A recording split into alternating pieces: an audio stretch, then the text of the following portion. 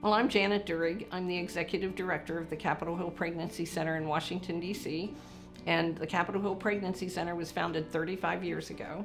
We've been here to serve clients who are in crisis pregnancies, only we don't really call them crisis pregnancies anymore. We want to help people who are questioning whether or not to keep their baby. We'd love to show them how we walking with them can help them keep their baby. But we also know that our young women, uh, in many ways, are struggling with what they should do. Our goal is to help guide her to see her support system if she chose life. Many clients come to us not just for the pregnancy test, they might come already knowing they're pregnant, and that's when we start with them with the material support.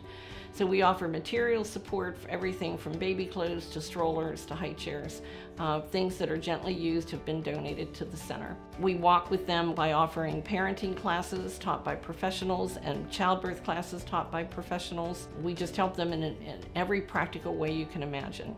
We are always looking for volunteers um, here at the Pregnancy Center. And we're looking for individuals or small groups, um, and eventually, uh, when um, it's safe to do so, we'd like to bring back our large groups to come and lend hands here at the center. Volunteers can help in many different roles, um, helping us sort the clothes, uh, receptionist roles, um, and data entry, and working one-on-one -on -one with our clients. What's rewarding is to see our volunteer process in action where um, somebody is actually sorting the clothes that were donated um, in an organized way for our client advocates to be able to um, grab specifically what each client needs and hand them right um, to her.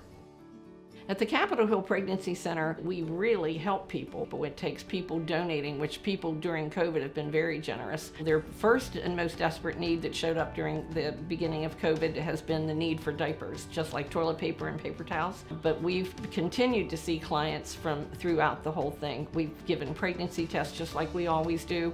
Uh, we have a safer way if we have a different door that people come in, they can enter that door and go right into the counseling room. Where we have just served them as we always do, material support, pregnancy testing, um, and parenting. Uh, we've been doing virtual parenting classes. Um, so we've been doing everything we've always done. One of the things I'd like people watching this video to know is that without them, we couldn't keep these doors open. Whether it's financial donations, whether it's their gently used baby equipment and baby clothes, uh, whether it's uh, somebody who ships us a case of diapers once a month or twice a year, or volunteers to help here physically at the center. Without them, we wouldn't be able to do it. And so I want to make sure people know that.